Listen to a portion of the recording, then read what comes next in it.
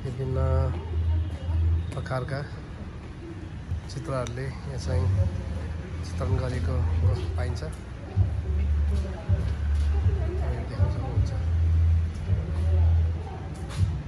जस्तै यहाँ तपाईँ फोन्समा चाहिँ स्वयम्भूको नक्साहरू अनि हाम्रो यो पुरानो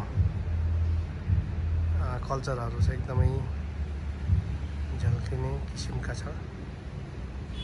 तपाईँ देख्न सक्नुहुन्छ जस्तै बुढा यहाँ चाहिँ पुरानो गाउँघरमा चाहिँ यसरी घाम तापेर होइन बस्ने चलन छ। त्यो प्रकारको एक घाम तापेर बसेको देख्न सकिन्छ।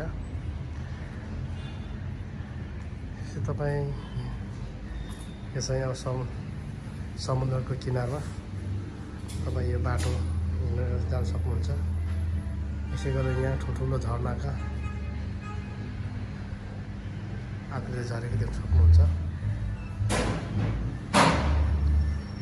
हामी यहाँ देख्नुहुन्छ तपाईँले विभिन्न किसिमका डाँडा हरियाली